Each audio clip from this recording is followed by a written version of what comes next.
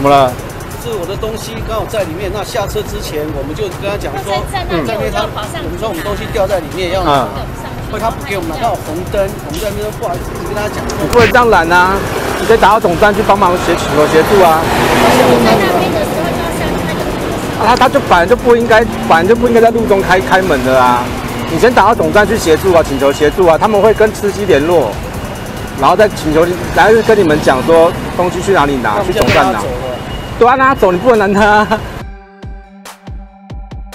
在台中等公车，难道要到路上才能拦得下来吗？这位林小姐是看到了一三一号公车，准备要招手拦车，但是呢，车子是几乎快要过站才停下来。好不容易上了车，司机就开始骂人说：“你要站出来拦车才对啊！”但是乘客就觉得你跑到路中间拦不是很危险吗？所以跟司机吵了起来。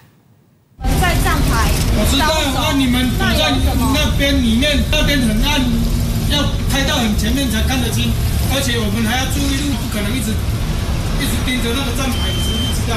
啊，可是我们跑出来啊，如果被车撞到嘞？乘客和司机为了招手拦车的位置吵了起来，因为司机要求乘客要站出来拦车。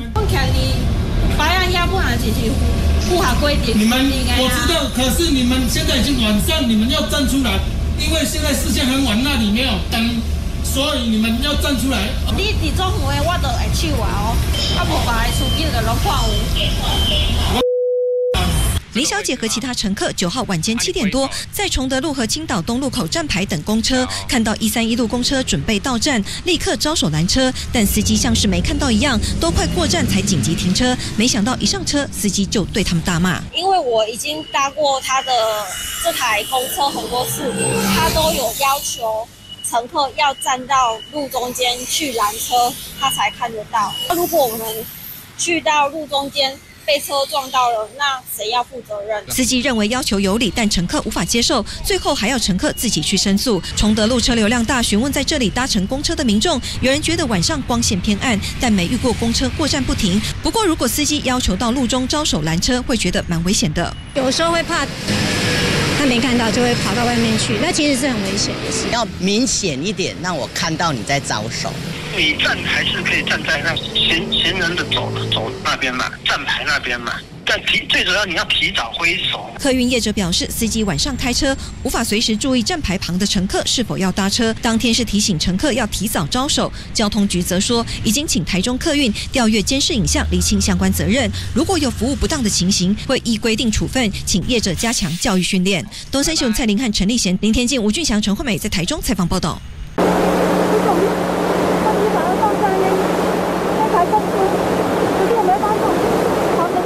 不要走哦！桃园这名女子奔向远景，气喘吁吁，话都快说不清楚。原来她的手机忘在公车上，眼见公车远去，狂奔追公车追不上，恰好遇到巡逻远景，立即求助。还好公车还不算太远，远景骑车追上。公车刚好到下一站，远景骑到公车前，挥手示意将公车拦停。有民众说手机遗遗失在你的车上了，刚刚那个，那他可以过来看吗？远景赶紧回头找遗失手机的女子，只见女子已经累到蹲坐在地，但一见远景回来，有希望了，马上走向远景。你不是那台公车吗？那请你过过去，因为他要请你那边专门找一下，赶紧上去看，快快快，有吗？谢谢老大哥，谢谢谢谢。所幸手机是找回来了，女子开心连连道谢。我呃能查公车。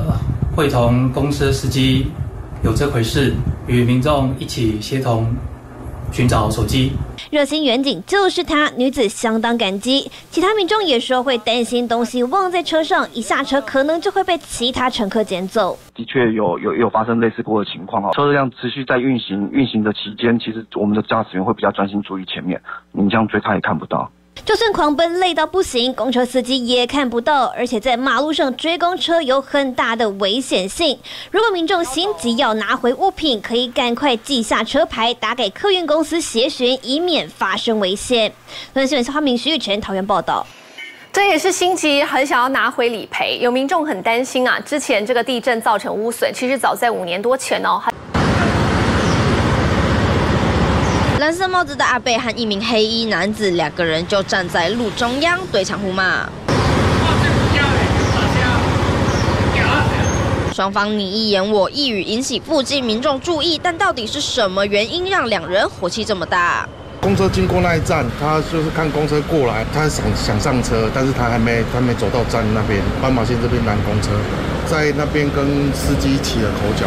男子原来是公车司机，早上十点左右，公车开到台中雾峰的这个路口，阿北疑似来不及走到候车亭上车，趁着公车停等红灯时跑到前方拦车阻挡，硬要上，还不断飙骂脏话，才让公车司机气到下车，跟他理论，跟报警处理。那个阿北刚好来了一个统联客运，他就直接上车，把那些赶下来乘客请上车之后就开走，这样。经查，该客运已违反非遇突发状况，在行驶途中。任意在车道上。暂停。警方到场后，因为双方都已经离开，联系司机也表示不需要协助。不过，公车直接停在路上开骂吵架的行为已经违法，警方将开罚司机六千到三万元，还得吊扣牌照六个月。无法跑车，工作没了，一时冲动得不偿失。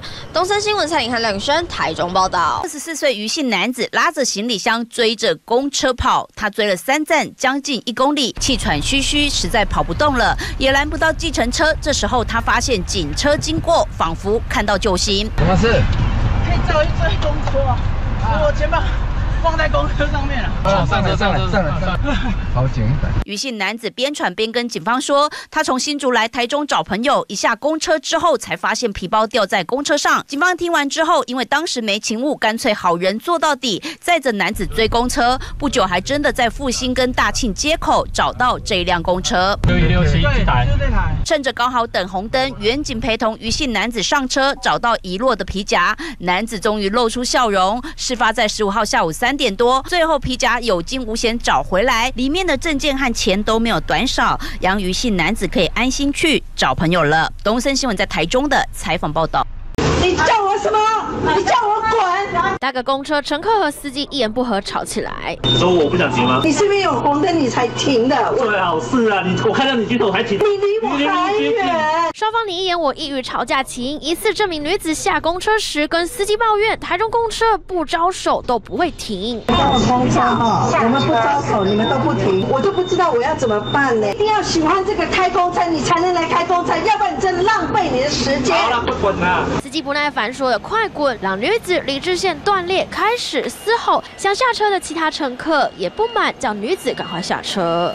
你干什么？你不要下车啊！事发生在台中火车站附近的公车站牌。二十三号早上八点多，女子搭了三零四路公车，和司机爆发口角冲突。观感不太好啊！今天出来工作的，就是有点浪费其他人的时间，别人可能在赶时间，就是不要到公车已经快停不下来才举手。我还是会举手，因为。已经习惯，基本上这边的都会停。我的司机是作好的啦，啊，有的司机是看你提物件搁坐回，啊，搁叫人上，伊就走啊。民众看法不一，其他司机看到影片也表示，也有人哦，嗯，司机还没有看到，他们就翻。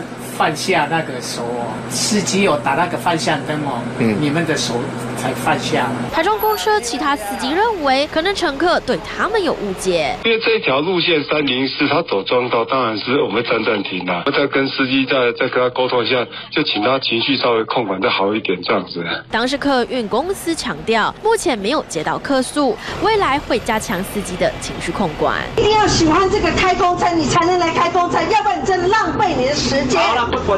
东森新闻廖志贵、李香明林轩台中报道。两名女子站在脚踏车旁，一名女子走向车道。不过这时女子见状，公车行驶的方向不太对劲，于是立刻往后想要躲避。但是下一秒，公车直直往骑楼方向冲，手拿便当的女子被一旁撞击的机车挤到旁边，而在脚踏车旁的两名女子赶紧往旁边躲避，惊险画面全被录下。那时候是从买完便当直接走出便当店，然后就看到公车在转弯，然后我往前要去牵摩托车的时候，公车就直接撞倒摩托车，然后摩托车就横扫到我身上，我就是一直大叫，希望有人帮我，但我后面就听到。公车就是直接撞进店里面，声音就现场就一片混乱。事发在台北南港中坡南路一辆信义干线五八八路公车往台北车站方向，在中午时间发生交通事故，警消人员获报赶抵，全力抢救。这起事故一共造成两名行人受伤。首都客运总经理也在事发后赶来现场，对于司机因为晕眩而酿祸，表示公司会承担所有费用。那我们现在后续就是，呃，协助伤者送医之外，我会负担他的所有的医医疗费用。那刚才我们已经已经给两位受伤者哦，那个就各各各一个押金的红包啦。然后，然后对于这个受损的民房，那我们刚才洪建议员也在现场哦，那我们也达成一个共识哦，就是洪议员会协协调来完成修修缮啊，并且那个这个三妈车座锅它的营业损失，我们公司也会负负担。我我老是嫌它空边的。真是嫌它空间，不不，这边这么这这路那么小，啊，你转弯过来也是很慢的的地方，为什么会超难开？辛苦蛤蟆啦，又不是大马路，辛苦蛤蟆啦。根据了解，驾驶疑似在开车途中身体不适，发生晕眩，才会导致车祸。至于详细肇事原因，还有待警方后续厘清。东森新闻综合报道。